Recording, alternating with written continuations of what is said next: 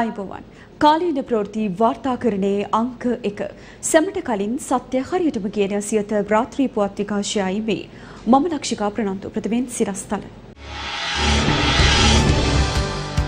ජනපති රනිල්ගෙන් අද පරාභව සූත්‍රය. අංගුලිමාල සිවරෑන්දගෙන බුදුහාමුදුරුවන්ටත් විරුද්ධව ක්‍රියා කළ බව ජනපති රනිල් කියයි. නෑනෑ ඒ අංගුලිමාල නෙවෙයි දේවදත්ත විජිත හේරත් මතක් කරයි. ඓතිහාසික දිමුලා කළ ආරණ්‍ය සේනාසනයේ විදුලිය කපයි. වන අලි පූජාභූමියට කඩාවදී. ආරණ්‍ය සේනාසනයේ විදුලිය කපන මැති ඇමතිලාගේ බිල නලවන අමුතු විදුලි කැපිල්ල සහ ලෝකෙ වටේ රවුම් යන්න දෙදහස් විසියකේදී වැය කළ රුපියල් කෝටි හතර අද ටෙලිවැකියෙන්. ඕමානයේ මිනිස් ජාවාරමට සම්බන්ධ කුෂාන් දහතුන් වනදා දක්වා රක්ෂිත බන්ධනාගාරයට. තනාපති කාර්යාලය අපි ගැන බැලුවේ නැහැ. හිඟා කාලා සල්ලි එකතු කරලා ලංකාවට ආවේ. එතර දිවියේ දුක කියන කතුන්. වෙලාවට ගල්ලංගුරුවාවේ නැතිනම් ලබන වසරේ රට දැවන්ත විදුලි අර්බුදයක ලක්විචේ බලාගාරයේ කළමනාකරු කියයි. සංචාරකින් දෙදහසක් රැගත් තවත් සුපිරි නෞකාවක් දිවයිනට. අනුග්‍රහය මාසට මහත්සිය හදලෙස් නමයක් රීලෝඩ් කරන්න. ඒකට තමයි ඇටල් ෆ්‍රීඩම් කියන්නේ. ප්‍රතිමෙන් දේශීය පුවත්. ඓතිහාසික දිඹුලාගල ආරණ්‍ය සේනාසනයේ විදුලිය ඊයේ විසන්ධි කර තිබෙනවා. ඒ රුපියල් ලක්ෂ 11ක පමණ හිඟ විදුලි බිලක් ඇති බව පවසමිනුයි. අද පාර්ලිමේන්තුවේදීද මේ පිළිබඳව සාකච්ඡා කෙරුණා. මැති ඇමතිලාගේ බිල්වලට සහන දෙමින් ආගමික ස්ථානවල විදුලි කපාදුව ගැන ජනතාවද සිය අප්‍රසාදය පළ කර සිටියා. ඓතිහාසික තිබුලාගල ආරණ්‍ය සේනාසනයේ භික්ෂුන් වහන්සේලා හැට නමකට වැඩියෙන් වැඩ සිටිනවා. මෙම ආරණ්‍ය සේනාසනයේ විදුලි බිල මෙතෙක් කල් රජයෙන් ගෙවනු ලැබුවා. මේ ඒ පිළිබඳව කතා කළ දිමුලාගල රාහුලාලංකාර හිමියන්. ජනාධිපති රාලේක්ෂේ මැතිතුමත් හම්බෙලා අපේ නායක හමුදුරු සංඝ සභාවේ අපේ ප්‍රධාන නමකුත් සාකච්ඡා කළාන් පස්සේ අගමැතිතුමත් ජනාධිපතිතුමත් ප්‍රකාශ කළා තියෙන මේකට සාහනදායී ක්‍රමවේදයක් යොදනවා. හැබැයි ඒ සාහනදායී ක්‍රමවේදයේ විසන්ති කිරීම මේක අපරමාතික කටයුත්තක් මොකද අද රටේ වර්තමානයේ ගත්තම දේශපාලන අධිකාරීන් ආය ජල බිල් විදුලි බිල් කෝටි ගණන් වලින් මේ රටේ කතා කරන්නේ. හැබැයි මේ කුඩා සාමල ස්වාමීන් වහන්සේලා වයවෘද්ධ භික්ෂුන් වහන්සේලා වැඩි නාන්‍ය සේනාසනයක එකපාරට විදුලි විසන්ති කිරීම මේ රටේ අදූරදර්ශී පාලකයන්ගේ අමන ක්‍රියාවක් විදිහට මම දකිනවා. දිඹුලාගල ආරණ්‍ය සේනාසනය අවට නිරන්තරයෙන් වනාලී දක්නට ලැබෙනවා.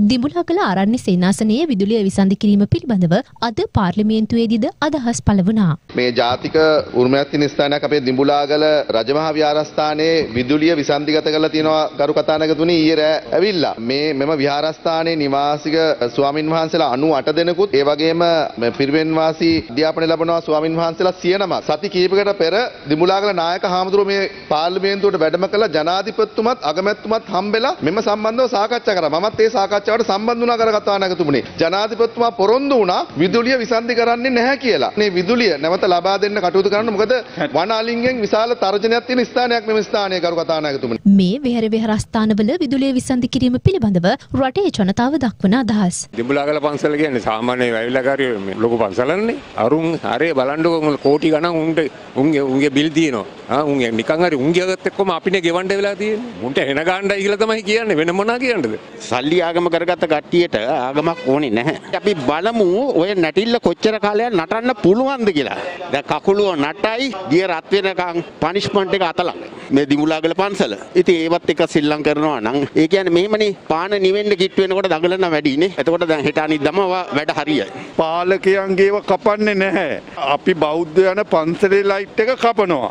ආණ්ඩුව රකින හාමුදුර ටිකක් ඉන්නවා ඒගොල්ලෝ පෙර ගැහෙන්න ඕන මේවට විරුද්ධව. ආටද කියන්න කියන්නකො ලෝකේ රටවල් බලන් ඉන්නකොට මේ රටේ බෞද්ධයෝ ලෝකේ හැම රටේම නැහැනේ වැඩිය. බුද්ධ ශාසන කටයුතු අමාත්‍යංශයෙන් බුද්ධ ශාසන ඇමතුමාගෙන් සංස්කෘතික අමාත්‍යංශයෙන් ඉල්ලා සිටින මේවා හොයලා බලන්න. නැවත විදුලිය නොමිලේ ලබා දෙන්න ඕනේ කියලා තමයි මම ඉල්ලා සිටින්නේ. මේක ඇත්තම අපිට පේන්නේ මේ රටේ තත්ත්වය. මේ රටේ මිනිස්සුන්ගේ නෙමෙයි මේ රටේ තියෙන පාලකයින්ගේ තත්ත්වය. පාර්ලිමේන්තුවේ අඩුවට තියෙන බත් එක කාලා මේගොල්ලෝ පට්ටම ආතල් ගත්තට මේගොල්ලන්ට මේ ජනතාව ගැන කිසිම කැක්කුමක් නැහැ. ඒතර විහාරස්ථානයකට පන්සලකට පල්ලියකට මිනිස්සෙක් යන්නේ හිත හදාගන්නනේ. එතකොට ඒ වගේ තැනකට ගියත් එතනත් කරන්ට් එක නැහැ. දුෂ්කර පළාත්වල ඉන්න ළමයි නයිප් පොලේගෙත් දෂ්ට කරත් ඉතින් කරන්න දෙයක් නැහැ. මේගොල්ලන්ගේ න්‍යායත් පුළුවන් නම් කාපම් බැයි නම් මඩගින්නේ මැරියන්. ඒක තමයි එකම න්‍යායය. මෙවන විට සියලු වාර්තා බිඳ තබමින් සියලු රේටින් බොරු කරමින් ලංකාවේ වැඩිම පිරිසක් නරඹන ටෙලිවිෂන් ටෙලිවැකිය දැන්. ටෙලිවිෂන් ටෙලිවැකිය. දිඹුලාගල ආරණ්‍ය සේනාසනේ ලයිට් කපල දැම්ම. පොළොන්නරුව දිශ්‍රීකෙට අයත් දිඹුලාගල ආරණ්‍ය සේනාසනය ඓතිහාසික පුදබිමක්. ඝාතනයට ලක් වූ කිතලගම සීලලංකාර හිමියන් දිඹුලාගලට නවජාවයක් දුන්නා. එක්දාසමසය අනුහයේ මැයි විසිහයවනිදා දිඹුලාගල සිංහා ලෙස විරුද්ධාවලිලත් කිතලගම සීලාලංකාර හිමියන් ත්‍රස්ත ප්‍රහාරයකින් අපවත් වනා. එදා අවසන් කටයුතුවලට ගිය සමහර දේශපාලනඥයින්ට ගම්මුන්ගෙන් විරෝධයක් එල්ල වුණා කියලා අද හුඟ දෙනෙකුට මතක නැතුව ඇති. අදත් වන අලි ගහන මේ බිම රැකගන්නේ කිතලගම හාමුදුරුවන්ගේ ගෝල ස්වාමීන් වහන්සේලායි. මේ මොහොත වන විටත් ස්වාමීන් වහන්සේලා හැට නමකට වැඩියෙන් වැඩඉන්නවා. රණසිංහ ප්‍රේමදාස තමයි දිඹුලාගලට නොමිලේ විදුලිය දුන්නේ ද රනිල් වික්‍රමසිංහ ආණ්ඩුව ඇත්තටම රනිල් රාජපක්ෂලගේ ආණ්ඩුව විදුලිය කපලදානවා. ලක්ෂ දහයකට වැඩි විදුලි බිලක් තියෙනවා කියලා නේද. රුපියල් තුන්දහසට හාරදහසටත් දැන් හිඟ බිල්වලට හෝගාල විදුලිය කපන කංචනට මේක මහ කජ්ජක් නෙවෙයි කියලා අපි දන්නවා. බිල් ගිව්වේ නැත්නම් කපනවා කියමු කොනේද. මේ කංචන ඇමති ඊය පෙරේද කිව්වා මැති ඇමතිලා ඉන්නවලු බිල් ගෙවන්න තියෙන නේද පරණ අයගේ බිලුත් එහෙම එකතු වෙලා තියෙනවලු. එයාලගේ නම් කියන්නේ නැහැල්ලු මේ ලැජ්ජවෙයි කියලා පව් නේද. ඒගොල්ලන්ගේ ළඟට ගිහින් කියලා තියෙන්නේ හොඳේ ඔය අහගන්නකෝ. සමහර ඇමතිවරු ඇවිල්ලා පදිංචි වෙනකොට ඒක ඊට ඉස්සලා හිටපු ඇමතිවරු ඊට ඉස්සලා පාවිච්චි කරපු පිරිසිට අවුරුදු 15ක් 20ක් ඊට ඉස්සලා දිගින් දිගටම බිල ආපු.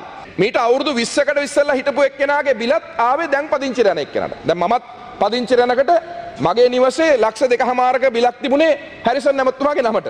කෙහෙලි ඇමතුමාගෙත් එහෙම තමයි තිබුණේ වෙන පුද්ගලයෙක් භාවිතා කරා යුද හමුදාවේ නිලධාරියෙක්. මම පහුගිය දවසේ පාර්ලිමේන්තුවේ කිව්වා එහෙම නම් 82ක් තියෙනවා. මගේ මන්ත්‍රයට වෙන වෙනම ගිහිල්ලා කිව්වා මේක එලියට යයි එලියට ගියොත් එම හොඳ නෑ. ඊට වඩා ලැජ්ජ නැද්ද? දිඹුලාගල වැනි වන අලි මැද තියෙන දිඹුලාගල ආරණ්‍ය සේනාසනයක විදුලිය කපන එක ඈ? මේක බොල හරියට නිකන් තලේබාන් ආණ්ඩුවක් වගේහෙන නේද? මං හිතන්නේ තලේබාන්ලවත් මෙහෙම කරයි කියලා. තමන්ගේ මට්ටං අර තම්මැට්ටං කියල කතාවත් තියෙනවන නේද. ඒගොල්ලෝ ඒගොල්ලන්ගේ බිල් බේරගන්නවා. හරිද ඔය බිල් ගෙවපු නැති මැති ඇමතිලා කොයි කාගෙද විසන්ධි කළේ හොඳයි පුළුවන්නම් කියන්ට බලන්න ඇ ඒ පෙරෙදර හිටපු ඇමති කෙනෙකුගේ විදුලිය කපන්න ගිල්ල විදුලි බල මණ්ඩලේ සේවිකින්ට බල්ලෝ පන්නනවා වගේ එලෝගත්තේ. කෝ කැපුවද රට කරවන නෙමේ රට කන උන්දලට එක නීතියකුත් අනිත් සාමාන්‍ය මිනිස්සුන්ට තව නීතියකුත් එහෙම වෙන්ට බෑ. හොඳේ ಮುಂದೆ ඔන්න ඔය නින්දිත ක්‍රමේ වෙනස් කරන්න තමයි අර්ගලය බිහිවුණේ ඔවු රටම සිිස්ටම් චේන්ජ එකක් ඉල්වෙත් ඉල්ලන්නෙත් ඒ නිසා බව හොඳට මතකතියාගන්න හරිද? සිිස්ටම් චේන්ජ එක කියන්නේ තවත් මතකතියාගන්න තාම අලු යට ගිනි පුපුරු වගේ කියලා. හොඳේ? අර අපේ හාමුදුරුවනේ කියලා පපුුවට දඩි බිඩිගාලා මේ තඩිබාගන්න මහා සිංහල බෞද්ධ පිරුවටය දැන් ගැලිවිල අහවරයි කියලත් මහින්ද රාජපක්ෂලරත් මතක් කරන්ටම ඕනේ. නාමල් ඔයාගේ අංකල් ආයේ ඔයාගේ අර මහා සිංහල බෞද්ධකම ආං ඒ මිත්‍යාව දැන් රටටම හොඳට හෙළි කරලා නිරුවත් කරලා අවසන්. ආය ඔය ජාතිය ආගම සිංහල බෞද්ධකම එහෙම රැකගන්ට කියලා එනවා හෙම නොවෙයි. හොඳේ? වඳකොත්තු වඳ සැත්කම් වඳ යට ඇඳුම් එහෙම මවනවා නෙවෙයි. හොඳේ? ආර නාගලෝකේ පලාගෙන චීන කරඩු එහෙම අරං ඇවිල්ල ප්ලාස්ටික් බෝතලේ ඇතුළේ දාලා හිටපු අර මේ නයිහාමි එහෙම එහෙම නයි ඇරලි නම් ඉතිම් ආයේ බොරු. හොඳේ? ඇත්තම කිව්වෝත් මේ රට මෙහෙමවත් බේරලා තියෙන එක ගැන පුදුමවෙන්ට ඕනේ. ආ? ඇත්තටම රටටම විදුලිය මාස හය හතකට විසන්දි වුණත් පුදුම වෙන්ට එපා. මොකද මේ මහ උන්දලා අරන්තියන සැපගත්තම ඒ සැප බැලුවම හරද මේ රට කාබාසිනය කරලා තියෙන මේ රටේ ධනය විනාශ කරලා තියෙන ප්‍රමහණය ගත්තාම ඉටි පන්දමක්වත් පත්තු කරගන්න රටක් ඉතුරුණයක ලෝක පුදුමයක් හරිද ඔන්න අහගන්නකො විස්සයි විසියක වර්ෂයේදී පමණක් මහින්ද ගෝටාබේ ජෝඩුව නිල විදෙස් සංචාර පහකට ගිහිල්ලා තියෙනවා. ගාන දන්නවද නිල විදෙස් සංචාර පහයි ගාන කෝටි හතරයි. හරද ඊට පොඩ්ඩක් වැඩි කොහොමද වැෑ කිරිල්ල. විදෙස් සංචාර හතරකට අයිය මලෝ දෙන්න කෝටි හතරය. ඒ ගැන ඔය අද පුවත්පත සවිස්තරාත්මකව වාර්තා කරලා තියෙනවා. හිටපු ජනාධිපති විස්සයි විසියකේදී නිව්යෝග්ගිහින් තියෙනවා. ඉළඟට මේ බ්‍රිතාන්නේ ග්ලාස්ගෝ සහ එක්සත් අරාබි එමිරාජය තුළ සංචාරය කරලා තියෙනවා. ඒකැන්නේ ගෝටාවේ රාජපක්ෂ රටවල් තුනකට ගිහිල්ලා තියෙනවා විස්සයි විසියකේදී. මොකටද ගිය කියලා ඔය ජනාධිපති ලේකම් කාර්යාලයවත් හරියට දන්නේ නෑවගේ තමයි පේන්නේ. ඔන්න ගිය වියදං අහගන්ටක හොඳේ නිවියෝග ගමනට වැය කළ මුදල. රුපියල් පනස් හතර ලක්ෂ හැට එක්දාස් දෙසිය විසි එකයි. සත අයින් වුණ. හොඳේ ග්ලාස්ගෝ එකයන්නේ මහබ්‍රිතාන්නයට. රුපියල් දාහත් ලක්ෂ අසූපන්දාස් දෙසිය දහයයි. සතහතලිස් දෙක ගැලෙව්වා. එක්සත් අරාබි එමිර්රාජ්‍යයට රුපියල් පන් ලක්ෂ විසි එක්දස් අටසිය අසූ අටයි. හරිද දැම් මුළු එකතුව රුපියල් හැට්ටෑ හත් ලක්ෂ හැට අටදස් තුන්සිය දහ නමයයි. ඉළඟට මහින්ද රාජපක්ෂ විස්සයි විසියකේදී අගමැතිනෙ නේද? විදෙස් සංචාර දෙකක් ගිහින් තියෙන දෙකයි ගිය හොඳ වෙලාවට. හරිද? අහගන්නකො ගාන විස්සයි විසියකේ මාර්තු ගිහිලතින බංගලදේශයට. පනස්වැනි නිදහස් දිනවුලෙලටලු හරිද? වැය කළ මුදල රුපියල් එක්කෝටි පන්ලක්ෂ හැට අටදස් නමසිය හැට දෙකයි. රුපියල් එක්කෝටි පන්ලක්ෂ හැට අටදස් නමසිය හැට දෙකයි. ඒ කියන්නේ රුපියල් කෝටියක් විතර වැය කරලා. හරිනි. ඉළඟට විස්සයි විසියකේ සැත්තැම්බර්. විස්සයි විසේකේ සැප්තැම්බර් ඉතාලියේ G20 සමුළුවට ගිහිල්ල. හරිද? එකට රුපියල් මිලියන විසිහයකට වැඩි. ඒ කියන්නේ කෝටි දෙකකට වැඩි. හරිනේ. මහින්දගේ මේ ට්‍රිප් දෙකේ එකතුව විතරක් රුපියල් කෝටි තුන පනිනවා. හරිද? එතකොට දැන් අයියමලෝ ට්‍රිප් තුනටම කෝටි කීයද? කෝටි හතරයි. දැන් මල්ලිගේ ට්‍රිප් එකටම ගිහිල තියෙන එක කෝටියයි. රටවල් තුනකට ගිහිල්ල අයිය රටවල් දෙහෙකට යනවා ඒක ඇනේ ට්‍රිප් දෙකයි කෝටි තුනයි නේද හේතුව දන්නවාද. ගෝටාබේ එක්ක ගිහිල්ල තින්නේ හත් දෙනයි. අයිය එක්ක ගිහිල්ල තින විසි අටක් තිහක් විතර නේද. කාලයක් කර ප්ලේන් පිටින් අරංගිය අයියලනෙ නේද මේ මේ තමයි මහජන බද මුදල්. මේ තමයි රටේ සල්ලි. මේ විස්සයි විසියක විතරයි හොඳේ මේ උන්දල හැමෝම එහෙමයි මැති ඇමතිවරුත් බොහෝ දෙනෙක් පිටරට ගිහාම ඉන්නේ ලෝකේ ලොකුම සුපිරිම හෝටල්වල අපේ බද මුදල්වලින් නැත්නම් ලෝකෙන් හිංගා කාලගන්න ණයවලින්. ඒක තමයි ණයවලට මේ කල ගියේ. ආයේ කොහොම හරි ඉතින් නැගිට්ටල අරන් තව සැරයක් අපේ දරුවන්ගේ අනාගතයේ බාර දෙමු කියලා අද ටෙලිවැකිය අවසන් කරනවා. අනුග්‍රහය. දෘෂ්ටි විද්‍යාවේ ඇඩ්වාන්ස් කෙමිස්ට්‍රි කාස්ටිං කියන්නේ පලපුරුදු විශේෂඥ ඥානයක් සහිත අයට පමණක්ම සීමාව ඉතාම සියුම් ක්‍රියාවලිය. මේ සඳහා හොඳම විශේෂඥයෙන් වන්නේ ජෝර්ජ් ගුණරත්ත ලෙන්ස් එක්ස්පර්ට් ආයතනයයි. හැම ෂර්ට් එකටම මහත්මෙක් ඕනෑ කර තිබේ. එමරල්ඩ්. දෙදහස් විසිතුන අයවැය කාරක සභා අවස්ථා විවාදයේ හයවන දිනය අදයි. සිවුරක් ඇඳගෙන බුදුරජාණන් වහන්සේට විරුද්ධව කටයුතු කළ අංගුලිමාල ගැන අද රනිල් වික්‍රමසිංහ ජනාධිපති අදහස් පළ කළා. එහිදී මන්ත්‍රී විජිත හේරත් පැවසුවේ ඒ අංගුලිමාල නොව දේවදත්ත බවයි. ඒ ඇතුළු පාර්ලිමේන්තුවෙන් ඇසුණු කතා දැන්. විශේෂයෙන්ම නලින්ද තෙන්නකෝන් මැතිතුමා මගේ බොහොම හිතවතෙක්. එතුමා කෝටි 35ක් වටිනා ඉඩමක් ජල්නි ප්‍රේමදාස නැමැති අයෙකුට කුලියට බදු පදරමත් ලබා දීලා තියෙනවා. මාසකට 2 ලක්ෂ දෙක ගානේ හම්බෙලා නමුත් 2000 ලබා දුන්නත් 2018න් පස්සේ Honorable Lakshman Kiriyalla point of order මෙහෙම අපහාස කරන්න ඔබතුමා ඉඩරින්න එපා. ජලනි ප්‍රේමදාස කියන්නේ කවුද කියලා මේ මුළු ලංකාව දන්නවා. ඔබතුමාලා ඔබතුමාලා අහක බලාගෙන ඉන්නවනම් මං කිව්වනේ අපි නැගිටලා යනවා මෙතනින්. don't make this a මඩ ෆැක්ටරි. ඔබතුමා මේක මඩ ෆැක්ටරියක් කරලා පාර්ලිමේන්තුවක් නෙවෙයි. ඔබතුමාලා දැන් අර කුරුණෑගල දිස්ත්‍රික්කයේ ඔබතුමාලා නායකයාගේ මඩගොඩේ නෑවිලා.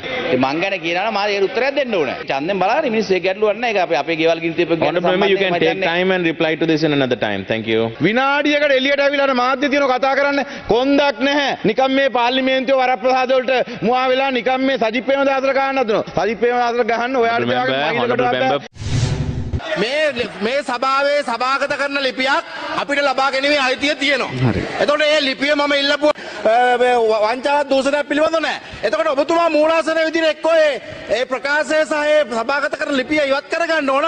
එහෙම නැත්නම් මට ඒ ඒ පිටුව හොයලා දෙන්න ඕන. ඒ දෙක එකක් කරන්න ඕන. ඒක ඔබතුමා කරන්න ඕන. එහෙම නෙමෙයි. ඔව් මම දන්න මන්දුමා. ගරු ගරු ගරු ගරු මුලස්සනේ සභාපතිතුමනි. මුලස්සනේ සභාපතිතුමනි අද අද විපක්ෂනායකවරයාගේ මඩ හෝදන්ට කතිකෝ තිස් පස් දෙනෙක්. ඇයි ඔච්චර කලබල වෙන්නේ? විගණකාධිපතිවරයාගේ වාර්තාවට උත්තර දෙන්න. එච්චරයි. ඇයි තමුන්නාන්සලා වැරදි කරලා නැත්නම් වැරදි. කරලා නැත්නම්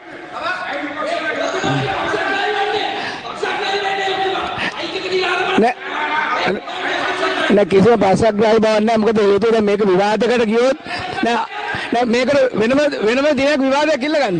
එතකොට පොත බලපුවාම ඒ පොතේ කොහෙවත් නෑ විගණකාධිපතිතුමාගේ වාර්තාවරෝ වංචාවක් දූෂණයක් අවභාවිතාවක් වුණා කියලා.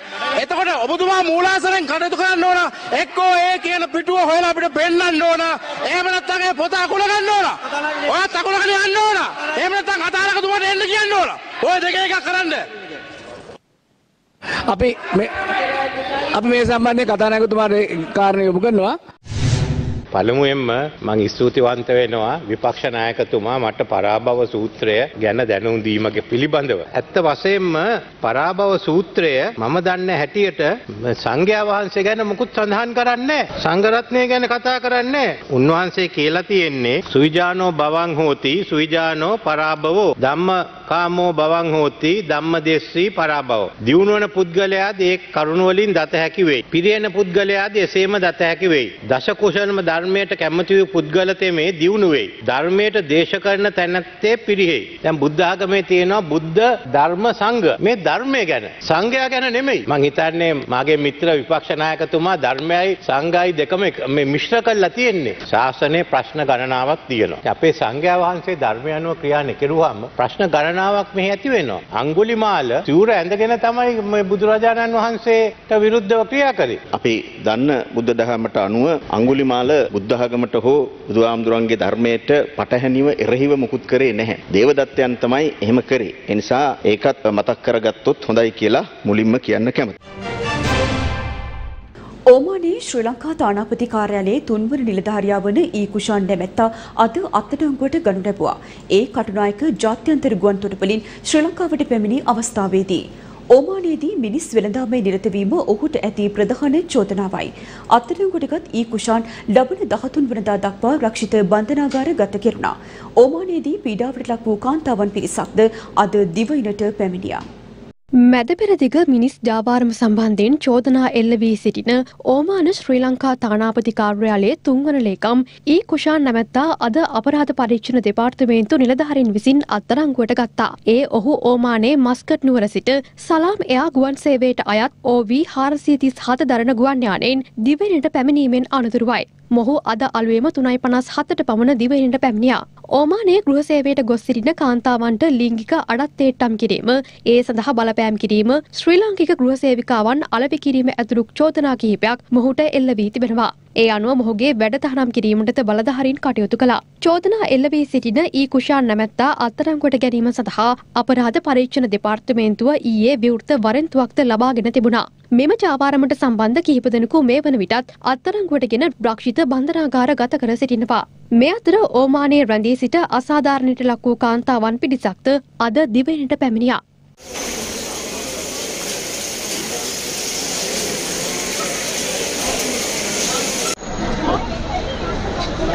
මේ මාව ගෙවල් වලට දැම්මේ නෑ ඒජන්සියෙන් ඒජන්සියට මාරු කර කර තියාගත්තා. තියාගෙන ඊට පස්සේ මම පැනලා එම්බසියට ගියා. එම්බසියට ගියපම මේක හිර කරගත්තා.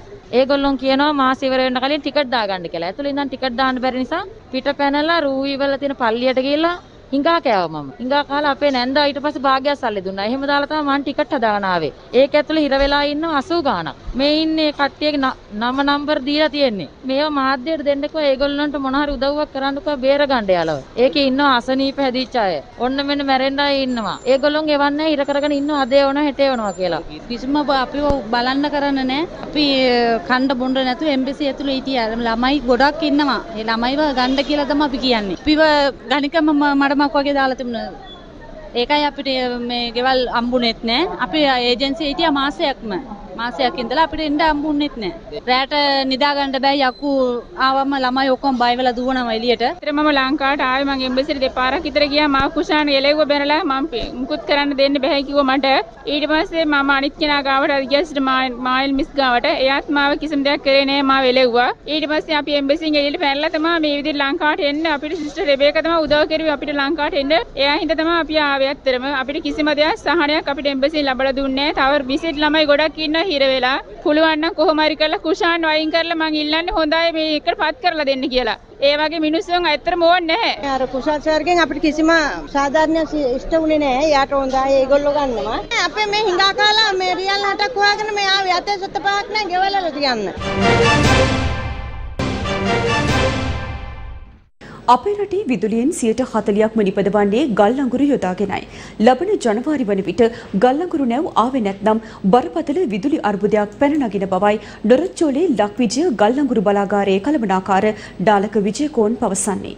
දල වශයෙන් ගල්ලඟුරු නැව් තිහත් තිස් පහත් අතර ප්‍රමාණයක් අවශ්‍ය වෙනවා. එහෙත් තවමත් දිවයින්ට පැමිණ ඇත්තේ ගල්ලඟුරු නැව් හතරක් පමණයි. දෙසැම්බර් වන විට තවත් එක් නැවක් පැමිණෙන බවයි වාර්තා වන්නේ. නියමිත පරිදි ගල්ලඟුරු ගෙන්වන්න බැරි වුණොත් ලබන වසර වන විට රටම අඳුරු විය හැකි බවයි නොරොච්චෝලේ ලක්විජය ගල්ලඟුරු බලාගාරයේ කළමනාකරු නාලක විජේකෝන් පවසන්නේ. ගල්ලඟුරු ටොන් මිලියන දෙකක් පමණ වසරකට අවශ්‍ය වෙනවා. දෙදස් විසිතුන වර්ෂයට ගිගාවට් පැය පන්දාස් හාරසිය පමණ නිපදවන්න අවශ්‍ය වෙන ගල්ලඟුරු ප්‍රමාණය අපි ඇනුම් කරලා තියෙනවා. වාරකංකාර සීමාවට කලින් ගල්ලඟුරු බෑම නිම කරන්න ඕනේ. ඒ වන විට අපිට ගල්ලඟුරු නැව් 38ක් ලැබිය යුතු වෙනවා. නමුත් මේ වන විට දැනට තාම ලැබිලා තියෙන්නේ නැව් 4යි. එක නැවක් මගේ එනවා. ඒ අනුව නැව් 5ක පමණ ප්‍රමාණයක් පමණයි මේ වසරේදී ගොඩබෑමේ කාල සීමාවෙදී අපිට ලැබිලා තියෙන්නේ. මේ දැනට තියෙන ගල්ලඟුරු ප්‍රමාණය අපිට ජනවාරි මාස දෙවනි සතිය වගේ වෙනකන් ඇති. කෙසේ වුවත්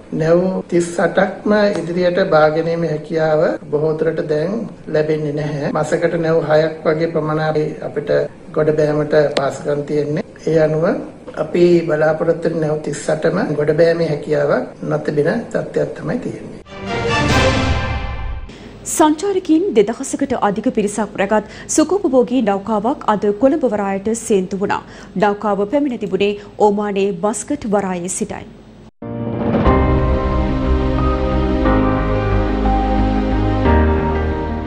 මෙයින් ශිප් 5 නම් මෙම සුවිසල් අධිසුකෝපභෝගී නෞකාව මෝල්ටාවට අයත නෞකාවක්. සංචාරකින් දෙදහසකට වැඩි පිරිසක් රැගෙන මෙයින් ශිප් 5 නෞකාව අදුදසන කොළඹ වරායේ නැගෙනහිර පර්යන්තයට සේන්දු වුණා. මෙම නෞකාව පිළිගැනීමට අමාත්‍යවරුන් වන නිමල් සිරිපලද සිල්වා සහ හරින් ප්‍රනාන්දු එක් වුණා. මෙහිදී නෞකාවේ ආගමනය සනිටුවන් කරමින් විශේෂ සමරු පලක හෝමාරුවක්ද සිදු වුණා. ඒ අමාත්‍යවරුන් සහ නෞකාවේ කපිතන්වරයා අතරයි.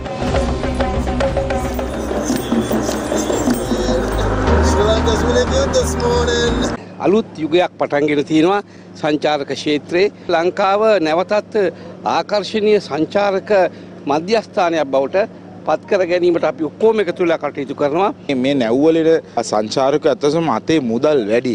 මෙහෙන් බැහැලා ගුවන් යානයක සීගිරියට යනවා. ජීප් 100ක් සමග මේගොල්ලන් හෙට හම්බන්තොටට මේ නැව හම්බන්තොටට යනවා.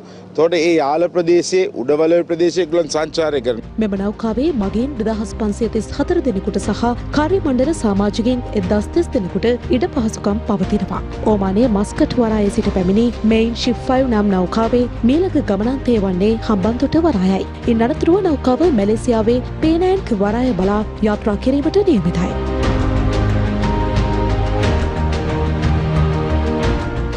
මෙම නෞකාවේ දිග මීටර් දෙසි අනු පහයි දශම දෙකයි හයක් වන අතර පලල මීටර් තිසාය දශම දෙකයි හතරක් වනවා. නෞකාවේ ගැඹුර මීටර් අටයි දශම බින්දුවයි පහක්. පාරිභෝගික අධිකාරියේ සිදුවන අක්‍රමිකතා පිළිබඳව හෙළි කරන්නට අද ආපනශාලා හිමියන්ගේ සංගමය ඇතුළු තවත් පිරිසක් ඇමති නලින් ප්‍රනාන්දු මුණ ගැසුණා. පාරිභෝගික අධිකාරයේ සිදුවන දූෂණ හා වංචා සම්බන්ධයෙන් දැනුවත් කිරීම සඳහා ආපනශාලා හිමියන්ගේ සංගමය ඇතුළු පාර්ශව කිහිපයක් අද වෙළඳ අමාත්‍යංශයට පැමිණියා. ඒ වෙළඳ කටයුතු අමාත්‍ය නලින් ප්‍රනාන්දු හමුවීමටයි. සම්පූර්ණ විස්තරේ මේකේ තියෙනවා. දැන් පාරිභෝගිකාරය වැඩ පිළිවෙල හොඳයි. අපි අගය කරනවා. මේ කට්ටිය කියන් කරන්න බෑ. මේ ඇතුලෙන් තොරතුරු එළියට යනවා. එළිය ශිල්ප සංවිධානයක් ඉන්න ජරා වර්ගන ඒගොල්ලෝ ආරක්ෂා කරනවා. මේකද මොනවාරි බඩු අඩු කරන්නේ නැද්ද? අපි අඩු කරන්නේ. පේන්තිය 30යි කිරිට 100. දැන් සීනි අඩු වුණා. ඊට පේන්තිය පිටි අඩු වුණා. ප්ලේන්තිය 30යි කිරිට එක 100යි. ඒක ගැසත් කරන්න. රුපියල් 140ට කලිය පනහට තිබ්බ කිකිලි පැටිය රුපියල් 500යි අද. නෑ ඔයා හොඳට කියන්නේ ඔය බිත්තර වැඩි. හරි අනිවාර්යයෙන්. අනිවාර්යයෙන් අපි ඉතින් බිත්තරේ අඩු කරන තැන හිටියේ. මේව අපි කියන ඇමතුමා වශයෙන් ඔබතුමා රාජකාරිය කරන්න හරියට. පාරිභාජිකාරී ඉන්න වංචා දූෂණ බර නිලධාරීන්ගේ විමර්ශන නිලධාරී. අන්න රත්නපුරේ ඉන්න කණ්ඩායමක්. ලක්ෂ 80ක අල්ලස් අරන් බිත්තරවල නඩු දානවා කියලා අනිත් පැත්තෙන් උසාවි නොදා සල්ලි ගන්නවා. එක පාරිභාජික නිලධාරියෙක් ගාව තියෙන සුපිරි වර්ගයේ වාහන තුනක්. අපි ඒවා ඉරිසියා නැහැ. හැබැයි මේව ගත්තේ කොහමද? පිටකොටුව කඩවල නඩු දාන්නම් කියලා නඩු දාන්න නොදා සල්ලි ගන්න. හැබැයි තව වෙනතුරු ඒගොල්ලන්ට විනය කියාම අරගන්නේ නැහැ. මේ අධ්‍යක්ෂ ජනලාවරිය. ඒ නිසා විපක්ෂීන් අප්පුහම්ලට කියන්නේ. බල පාර්ලිමේන්තුවේ කුණුහරුප කතා කරන්නේ නැතුව මේ රටේ මිනිස්සුගේ ප්‍රශ්න කතා කරලා. රෝහල් කිහිපයක වෛද්‍ය කාර්ය මණ්ඩල අද විරෝධතා සහ වැඩ වර්ජනවල නිරත වුණා. ඒ අතිකාල සහ පරිපාලන ගැටලු කිහිපයක් මුල් කර ගනිමින්. දෙයත්ත කණ්ඩිය මූලික රෝහලේ වෛද්‍යවරුන් අද නිහඬ විරෝධතාවයක නිරත වුණා. පොතවිල් රෝහලේ වෛද්‍ය අධිකාරිවරයාගේ ක්‍රියාකලාපයට එරෙහිවයි විරෝධතාවය පැවැත්වුණේ. පොතුවිල් මූලික රෝහලේ වෛද්‍ය අධිකාරිවරයාගේ තියෙන අත්නෝමතික අදූරදර්ශී විෂමාචාර චෝදනාවන්ට ලක්කමින් කිසිදු කරන කාර්යභාරය නිසා පොතුවිල් රෝහල විශාල ගැටලුවකට මුහුණ පාලා තියෙනවා. පලාත තුල තියෙන සෞඛ්‍ය බලධාරියෙක් හෝ සෞඛ්‍ය අමාත්‍යාංශයේ සෞඛ්‍ය බලධාරියෙක් මේ වෙනතුරු කිසිදු සාධනීය මැදිහත් වීමක් මේ සම්බන්ධයෙන් දක්වලා නැහැ. වහාම පොතුවිල් මූලික රෝහල තුල සහ ඒ අවට වෛද්‍යවරුන්ට රාජකාරී කිරීම සඳහා අවශ්‍ය ආරක්ෂාව තහවුරු කළ යුතුමයි වහාම. පස්සර දිසාරෝහලේ සේවකයන් ඊයේ දින ආරම්භ කළ වැඩවර්ජනය අදත් ක්‍රියාත්මකයි. ගෙවීම් සම්බන්ධයෙන් ගැටලුවක් මුල් කරගනිමිනුයි වැඩවර්ජනය ආරම්භ වුණේ. මේ අතර දියතලාව මූලික රෝහලේ කනිෂ්ඨ කාර්ය මණ්ඩලය ඊයේ සහ අද අසනීප නිවාඩු ලබාගෙන තිබෙනවා. ඒ අතිකාල සහ තවත් ඉල්ලීම් කිහිපයක් මුල් කර ගනිමිනුයි. මේ හේතුවෙන් වෛද්‍යවරුන් සහ රෝගීන් දැඩි අපහසුතාවයට පත්ව ඇති බවයි වාර්තා වන්නේ. ශ්‍රී ලංකා රක්ෂණ සංස්ථාව විකුණා දැමීමේ උත්සාහයට එරෙහිව එහි සේවකින් පිරිසක් අද විරෝධතාවයක නිරත වුණා. ශ්‍රී ලංකා රක්ෂණ සංස්ථාව ප්‍රතිව්‍යුහගත කිරීමට එරෙහිව අද එහි සේවකයන් පිරිසක් විරෝධතාවයක නිරත වුණා. ඒ කොම්පඤ්ඤ වෙදියේදී.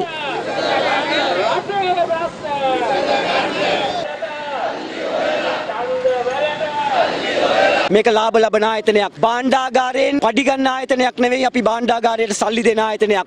අපි අහන්නේ ඇයි එහෙනම් මෙවැනි ලාභ ලබන ආයතනයක් විකුණන් කන්න මොකද්ද තියෙන උමනාව? කිසිම රාජ්‍ය ආයතනයක් මහජන සම්පත් විකුණන්න අත තියන්න ඉඩ දෙන්නේ නැහැ කියන පණිවිඩය අපි දෙනවා 134කින් පත් වුණු ජනාධිපතිවරයාට අපි පැහැදිලිව කියනවා මේවා අකුලා ගන්න කියලා. දැන් රටවටා පුවත් කිහිපයක් කෙටියෙන්.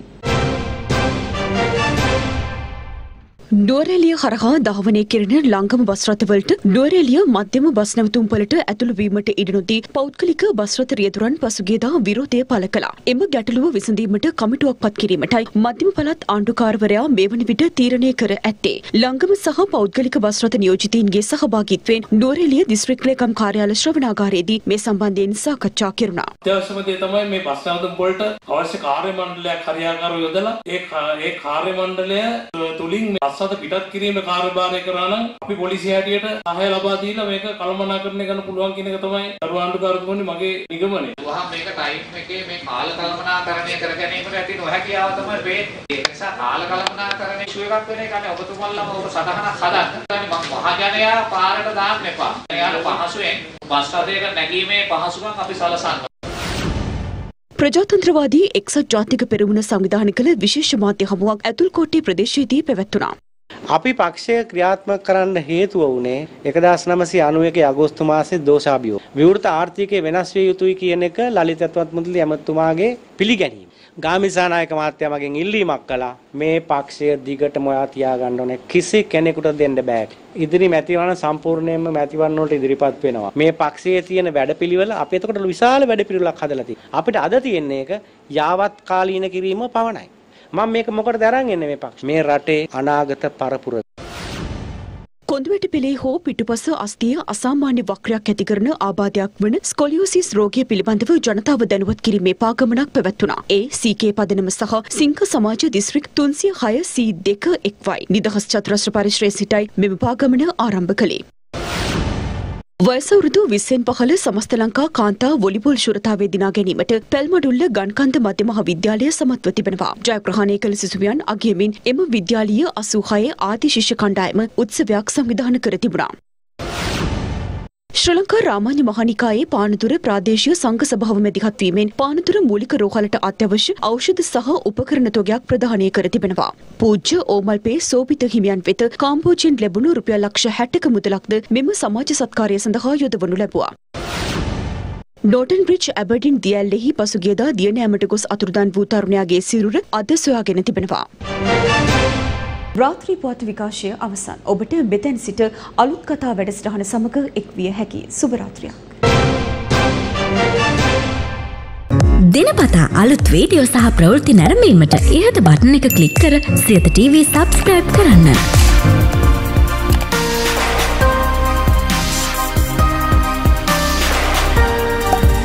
අලුත් වීඩියෝ ගැන මුලින්ම දැනගන්න මෙම සීනුව ක්ලික් කරන්න.